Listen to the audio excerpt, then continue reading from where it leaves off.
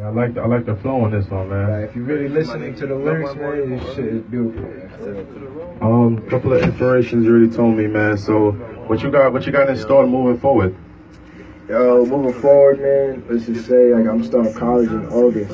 I'll be going to uh, Full Sail University for mixing and mastering for music. Oh, that's what's up. Right, yeah, it's That's cool. And then on the photography side, I'm gonna be studying how to do that. Don't forget about the little guys, man. Oh yeah, mean? oh definitely not, man, definitely not. You already know, Yeah. like yo, like I never forget who I've come across. You know Black man with that degree, baby. You Right, know what exactly. I mean? You know It's a dangerous Like, thing.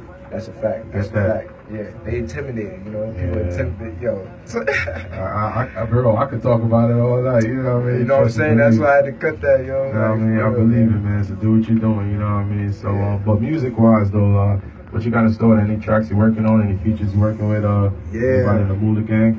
Yeah, I'm actually trying to work with this